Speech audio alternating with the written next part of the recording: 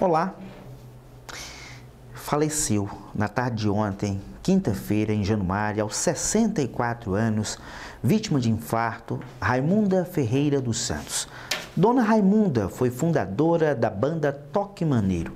Querida e amada pelos músicos januarenses pelo seu incentivo, apoio e entusiasmo, já que valorizou muito a classe artística da cidade mãe do guitarrista William e tia do tecladista Mailson e o vocalista Marquinhos. O sepultamento será na tarde desta sexta-feira.